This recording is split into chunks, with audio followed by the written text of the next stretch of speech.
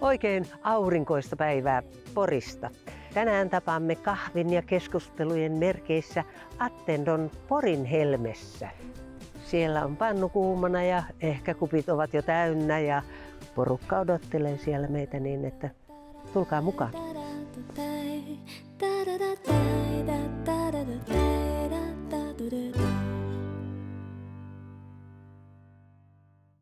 No niin, täällä me istumme kahvipöydän ääressä ja kahvi on vaan kaatamista vailla. Täällä istuvat Auli, hänen miehensä Matti, Mirja ja Kerttu. Ja tarkoituksena on rupatella elämänmenosta ennen ja nyt. Olen tämmöinen Mirja Nikkonen ja olen Luvialta alun perin kotoisin. On Kerttu Röring Porista. Ja kukaan ei ota sokeria niinkö?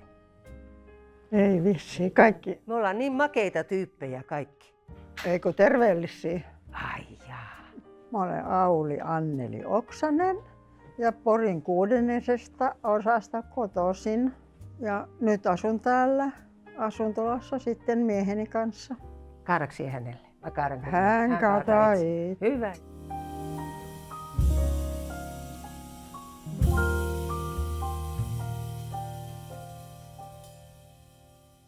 Minkälaisia nämä jutut täällä, täällä tuota teidän kotona kahvipöydässä on? Mistä te puhutte päivittäin? Ilmoista ainakin ja siitä, mitä täällä kuuluu kenellekin. Ja Niin. semmoista kaik- ihan tavallista asiaa. Niin, tavallista asiaa. No ootteko te puhunut koronasta? Ollaan puhuttu kyllä ja ollaan oltu huolisamme siitä. Niin. No mehän ollaan vissinkin totta kai kaikki rokotettuja. Kyllä. Ky- kyllä, ne on Joo. rokotettu täällä. Mitä te ajattelette niistä ihmisistä, jotka ei ota rokotusta? Ihmetyttää suuresti. Rohkeita. Ai niinkö? Osa oli, uskaltaa oli ilman rokotusta. Niin, no niinkin voi ajatella. Huhu. Tässä nyt mietitään, että mistä ihmeestä se tuli ja on kaikenlaisia äh, ajatuksia siitä. Ja miten tästä selvitään? Onko siitä mitään mielikuvaa? Kyllä suomalaiset selkeämistä vaan, koska ollaan sodastakin selvitty. No, mutta voiko näitä aikoja verrata toisiinsa, tätä korona-aikaa ja sota-aikaa? Ei. No eikö niin sittenkin ole eri. Iso ero. Niin, Iso ero. sota-aika oli. Kaikista puute. Kaikista tuli puute. Ja pula. pelko. Ja sitten se mitä oli, ne, nekin oli kaikki kortilla. Mulla on vieläkin rahapussissa semmoinen yleisostokortti. Kaiken varmuuden vuoksi. Ja niin se on muistona. Mutta jättikö se sota-aika semmoisen, niin kuin, synkistikö se teidän, teidän nuoruutta ja, ja aikuisuutta sitten? No, mun puoli isäni talvisodassa. Se on jättänyt tänne asti traumaa vähän. Ja silloin kun käydään hänen haudallaan, niin silloin tulee aina semmoinen tyhjä olo, että yksi on mennyt sodassa.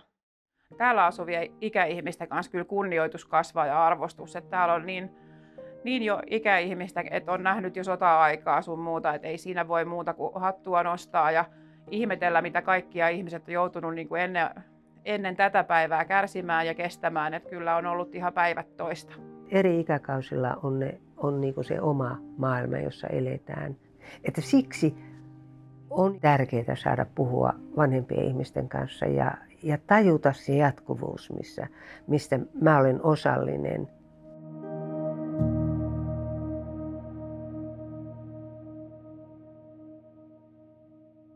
Mites Mirja, onko sinun tämä lapsuusaika kaikkineen, niin onko se jättänyt merkkejä tai jälkiä tänne nykyiseen elämään? No en mä nyt osaa sanoa, mä olin niin paljon lapsi kumminkin silloin. Mutta kaikki semmoisia muistan, kun kaikki nuo ikkunaverhot, ne täytyy olla, ikkunat täytyy olla pimennetty. Ja sitten oli tosiaan nämä kaikki korttiannokset, mitä haettiin kaupasta. Ja Joo. Ja laskettiin lentokoneita kuinka monta ei mene yli, kun mäkin Luvialolle asuin siellä. Sitten tuli tuon Porin lentokenttää pommittamaan, niin aina laskettiin kuinka monta konetta menee kerralla aina yli. Et se niin on silloin lapsenakin vähän semmoinen niin pelottava sitten. Niin. kuudennessa osassa, kun asu, asui siellä, niin niin on siinä vesi, vesitorni, Joo. niin se huusi aina, sit kun tulee pommiuhka. Et, ja se on jäänyt korviin se louseva, laskeva ääni vielä. Toi. Hälytysääni. Hä, joo, ja se oli siinä iässä, kun mäkin olin, niin se oli suuri pelko ja kiire. Ja silloin le- mentiin sitten suojaan aina. Minne? Pommisuoja oli, siinä oli, meillä oli likellä semmoinen kivinen rakennus, niin sen pohjalle sitten sinne mentiin. Entäs Kerttu? Miten sota-ajan lapsuus on vaikuttanut suhun? Kyllä se tietysti määrätyllä tavalla on vaikuttanut, koska mä, joka asui isojen rannalla silloin, kun, niin kuin nytkin, sama juttu se oli, niitä lentokoneita lent, lenti ja Ne sitten laskettiin kumminkin kuinka paljon kerran menee. saksmanni miehiä nähtiin aina niillä pelloilla kulkeva. Mutta siitäkin sitten selvittiin vaikka raskaalla hinnalla ja, ja ö, nyt ollaan tässä, että, että tuota, kyllä me selvitään tästä koronastakin.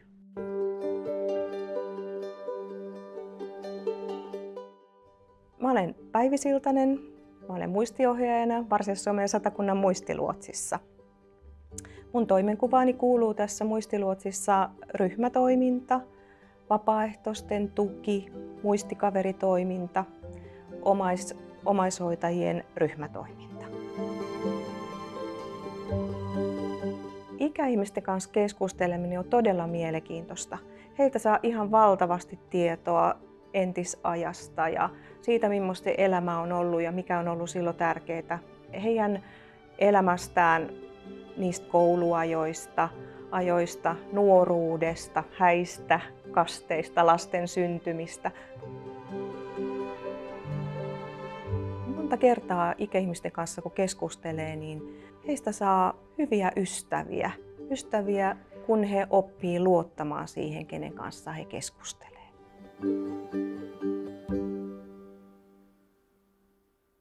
Katsotaan kuvia. Tässä on tämmöinen kaunis ylioppilastyttö vuodelta 85. Se on meidän Sari Sari.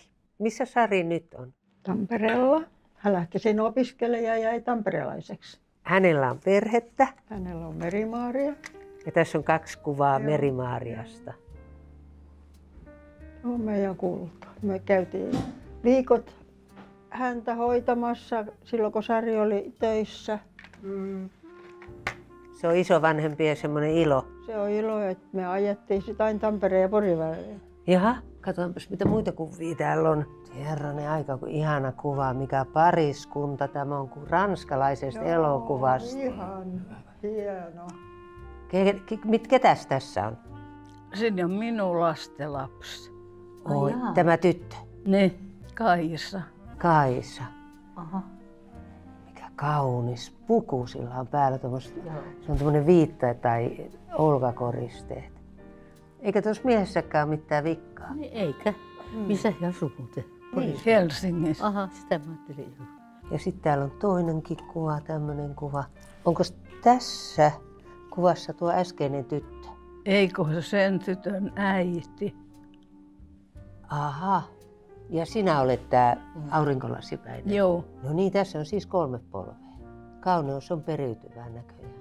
Mitä tässä kuvassa tapahtuu? Hän on ollut tämä tyttö vuoden stipendiaattiin USAssa. Ja me ollaan häntä vastaanottamassa Helsingin lentoasemalla. Ja kaikki on onnellisia. Hoitokodissa saa ystäviä, uusia ystäviä. Siellä on, siellä on tota noin, turvallista olla. Siellä on lääkityksestä huolehtivat henkilöt. Siellä on siitä henkilökohtaisesta hygienistä hen, huolehtivat henkilöt. Tulee, on paljon virikkeellisempää se oleminen. Ja, ja monta kertaa tosiaan se ravitsemusasiakin on sellainen, joka siellä kotona varsinkin yksin asuvilla niin on aika heikossa kunnossa, kunnossa kun ei muista syödä. Ja silloin kun on se malliesimerkki siinä vastapäätä ruokapöydässä, niin sekin onnistuu paremmin se ruokailu sitten, kun ollaan tämmöisessä yhteisöasumismuodossa. Tuota asumisesta puheen ollen, niin Mirja, miltä se sinun kotisi näyttää? Miltä Mennäänkö näyttää? katsomaan? Mennään vaan. Kiitos. Sotkuselta voi näyttää. tai, en mä, tai en mä tiedä, kuka siellä olisi sotkenut. Se on aina se mystinen juttu, että kuka sotkee.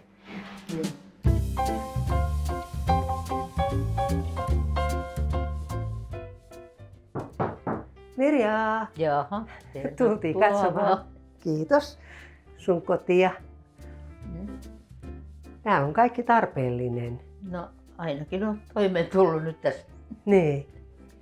Siellä on iso kylppäri Joo. ja tuota, on sänky ja nojatuoli ja telkkari ja sitten täällä on tämä muisto, muistojen kuvat. Joo, siinä on nyt se iso kuva semmoinen, kun Terhi täytti se mun tyttären 60, se- hänen perhettä siinä. No onpa siinä. Onko tämä sinun hääkuva? Se on mun hääkuva ja sitten se viereinen on siinä meidän pojan, Ahaa, joka kuoli. niin.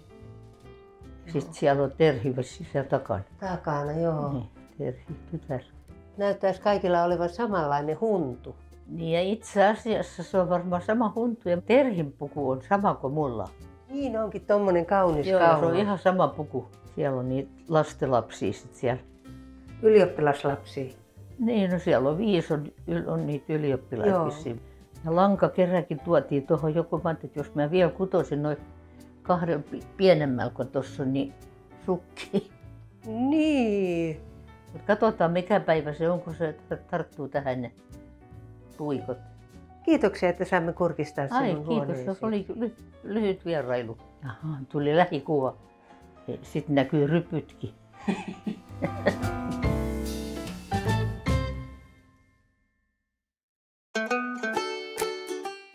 Tämä on hieno päivä.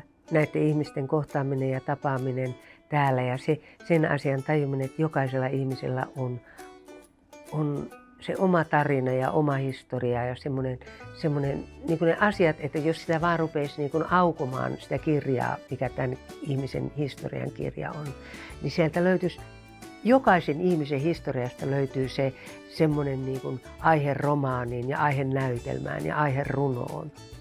Niin kuin Veikko Lavi lauloi, että jokainen ihminen on laulun arvoinen. Jokainen ihminen on tärkeä.